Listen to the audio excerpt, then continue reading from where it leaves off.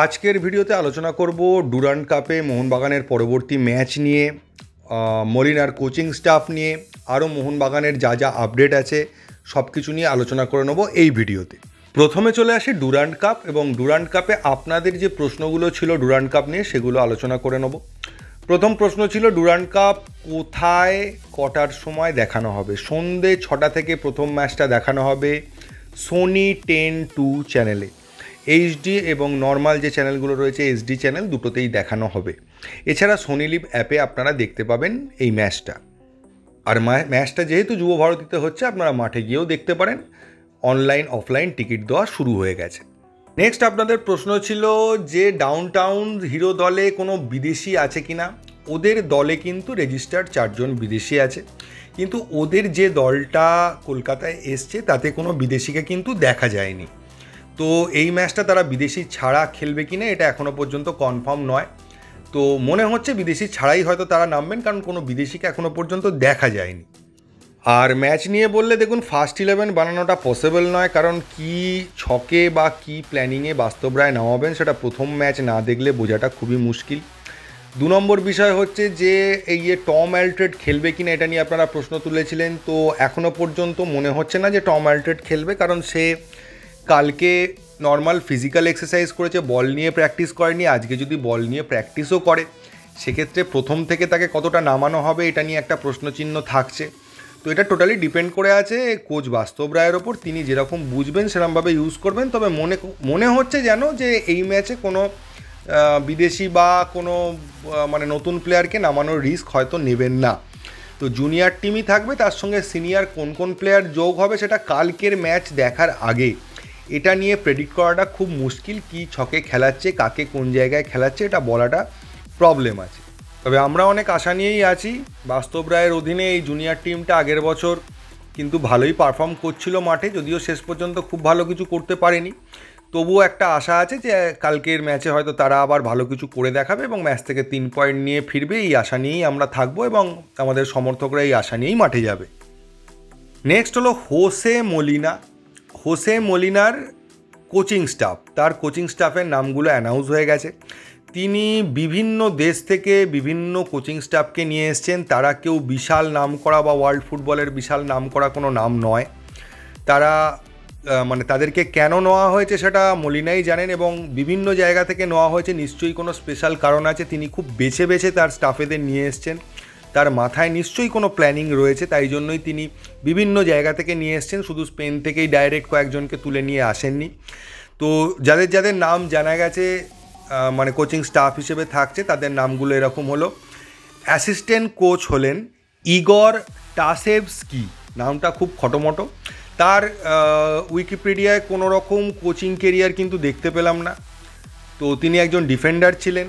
তিনি এখানে defensive coach হিসেবে আসছেন কিনা জানি না, তবে তাকে অ্যাসিস্ট্যান্ট কোচই দেখানো হচ্ছে। তো তিনিই টোটাল অ্যাসিস্ট করবেন মলিনাকে। তার সঙ্গে আমাদের ভারতীয় অ্যাসিস্ট্যান্ট কোচ হিসেবে বাস্তব রায় তো থাকছেন। এবং গোলকিপার কোচ হচ্ছেন ফ্রান্সিসকো জোসে মার্টিনেজ নিউ।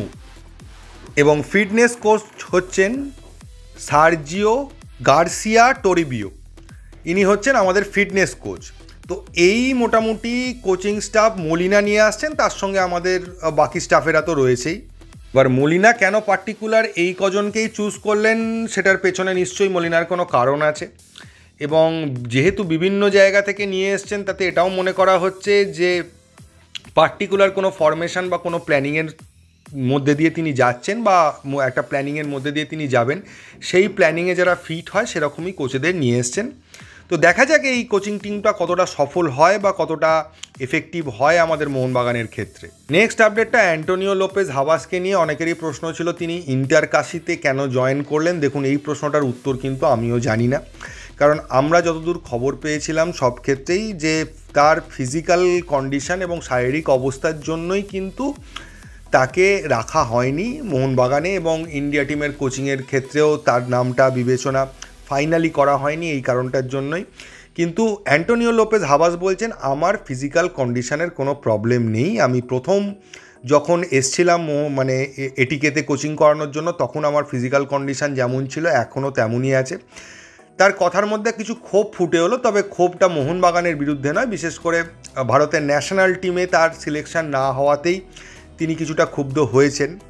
কারণ তিনি মনে করেন যে তিনি এই পদটার জন্য প্রচণ্ড যোগ্য ছিলেন। কিন্তু যে কোনো কারণেই তাকে সিলেক্ট করা হয়নি এবং তিনি ইন্টারকাশির মাধ্যমে ভারতীয় ফুটবলের ভবিষ্যৎ প্রতিভা তুলে আনবেন এবং একটা লং টার্ম প্রজেক্টে যোগ দিয়েছেন। তো মোহনবাগান তাকে কেন রাখল না বা ন্যাশনাল টিম কেন তাকে সিলেক্ট করল না, এটা নিয়ে কিন্তু কোনো তথ্য পাওয়া যায়নি। যে তথ্যটা পাওয়া যাচ্ছিল সেটা পুরোপুরি অ্যান্টোনিও লোপেজ হাওয়াস খারিজ করে দিয়েছেন যে তার শারীরিক কোনো সমস্যা নেই। এবং ভারতীয় নতুন প্লেয়ার যারা মোহনবাগানে আসতে পারে, সেটা নিয়ে একটা তথ্য উঠে এসছে। মার্কাস মার্গুলা জানিয়েছে, কেরালা ব্লাস্টারের সঙ্গে কিন্তু এখনও একটা সোয়াব ডিল নিয়ে আলোচনা চলছে মোহনবাগানের সাথে। সেটা এখনও ফাইনালাইজ হয়নি, তবে হওয়ার সম্ভাবনা রয়েছে এখনও কথাবার্তা এখনও চলছে এখনও একটা সোয়াব ডিল হতে পারে এবং একজন প্লেয়ার মোহনবাগান থেকে কেরালা ব্লাস্টার এবং কেরালা ব্লাস্টার থেকে কোনো একজন প্লেয়ার মোহনবাগানে আসতে পারে। তো প্রাথমিকভাবে মনে করা হচ্ছে হর্মিপম বা প্রীতমের মধ্যে কারুর একজনের সঙ্গেই সোয়াপ ডিলটা হতে চলেছে, কিন্তু এক্স্যাক্টলি কার সঙ্গে হতে চলেছে সেটা জানা যায়নি। এদিকে আরও একটা খবর পাওয়া যাচ্ছে, হেক্টার উস্তে মোহনবাগানের প্রাক্তন প্লেয়ার তার সঙ্গে ইস্টবেঙ্গলের একটা কথাবার্তা চলছে। তো এখনও সেটা ফাইনাল হয়নি, তবে হেক্টার উস্তের ইস্টবেঙ্গলে যোগ দেওয়ার কিন্তু একটা সম্ভাবনা তৈরি হয়েছে। তো সেটা কি হয় সেটা ভবিষ্যতই বলবে। নেক্সট আপডেট হচ্ছে আপনাদের আরেকটা প্রশ্ন ছিল, মোহনবাগান মাঠে কবে থেকে সিএফএল এর খেলা হবে? তো শোনা যাচ্ছে, এগারোই আগস্ট থেকে যে ম্যাচগুলো রয়েছে, সেগুলো মোহনবাগান মাঠেই খেলা হবে। মোহনবাগান মাঠ কিন্তু ইতিমধ্যে প্রস্তুত হয়ে গেছে এবং খেলার মতো কন্ডিশনে চলে এসছে। নেক্সট মোহনবাগানের জার্সি পরিবর্তন নিয়ে অনেকেই আমাকে জিজ্ঞেস করেছিলেন, তো এই মুহূর্তে কিন্তু জার্সি পরিবর্তন হয়ে নতুন কোনো জার্সি আসবে? এরকম কোনো খবর এখনও পাওয়া যায়নি। স্পন্সর চেঞ্জ হচ্ছে যে খবরটা আগেই পাওয়া গেছিল, সেই খবরটাই এখনও পর্যন্ত রয়েছে। আর লাস্ট শেষ করব আনোয়ার আলীর খবর দিয়ে। আনোয়ার আলীকে ডুরান্ড কাপে মোহনবাগান রেজিস্টার করেছে, কারণ সেন্ট্রাল রেজিস্ট্রেশন সিস্টেম বা সিআরএসে কিন্তু এখনও মোহনবাগানের প্লেয়ার হিসেবেই আছে আনোয়ার, তাই তাকে রেজিস্টার করাতে মোহনবাগানের কোনো সমস্যা নেই। মোহনবাগান ডুরান্ড কাপে আনোয়ারকে রেজিস্টার করেছে, কিন্তু তিনি কতটা খেলতে পারবেন, কবে মাঠে নামতে পারবেন, এটা নিয়ে অবশ্যই প্রশ্নচিহ্ন রয়েছে। কারণ তার কেসটা এখনও প্লেয়ার স্ট্যাটাস কমিটিতে রয়েছে। তো সেখান থেকে কোনো ভার্ডিক্ট আসার আগে আনোয়ার মাঠে নামতে পারবে বলে মনে করা হচ্ছে না। তার ফলে ডুরান্ডে আনোয়ার কতটা খেলতে পারবে সেটা নিয়ে একটা প্রশ্নচিহ্ন অবশ্যই থাকছে। এবং আঠাশ তারিখ মোহনবাগান কি রিপ্লাই পাঠাতে চলেছে, তার কিন্তু হিন্টস পাওয়া গেছে। কিন্তু সেটা পাবলিকলি এখন বলা যাবে না, যেহেতু এটা একটা মানে বলতে পারেন লিগাল জায়গায় রয়েছে। তো এটা আলোচনা করাটা একটু রিস্কি আছে, তাই আলোচনা করছি না, তবে এটা জানা গেছে যে মোহনবাগান কি রিপ্লাই পাঠাচ্ছে। তো এই ছিল মোটামুটি আজকের আপডেট মোহনবাগানকে নিয়ে এই এই তথ্যগুলোই এখনও পর্যন্ত উঠে এসেছে, সেগুলো আপনাদের সঙ্গে শেয়ার করলাম। তো এই ভিডিওতে এইটুকু। যদি ভিডিওটা ভালো লাগে প্লিজ চ্যানেলটাকে সাবস্ক্রাইব করবেন। থ্যাংক ইউ ধন্যবাদ, এবং জয় মোহনবাগান